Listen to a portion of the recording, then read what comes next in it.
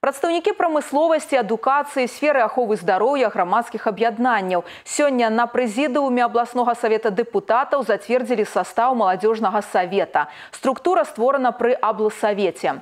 У яе састаў увайшлі 26 чалавек. Іх выбралі больш чым са 180 прэтэндэнтаў. Пры адборы кандыдатаў улічваліся актыўнасць жыццёвай пазіцыі, значнасць і актуальнасць агучаных імі праектаў, ідэй прапаноў. У кожнага з маладых людзей у савеце будзе унікальная магчымасць праявіць свае творчыя здольнасці, зразумець, што такое мясцовае кіраванне і самакіраванне, самім унесці ўкладу сацыяльна-эканамічнае развіццё рэгіёна. Мы очень рады тому, что у вот этой, казалось бы, небольшой части да, представителей Гомельской области будет уникальная, на мой взгляд, возможность показать свои творческие способности, понять вообще, что такое местное управление и самоуправление, самому внести свой вклад в социально-экономическое развитие, быть, так скажем, не просто маленьким винтиком, а буквально рычагом для такого замечательного дела, как управление государством, хотя и в своей маленькой родине.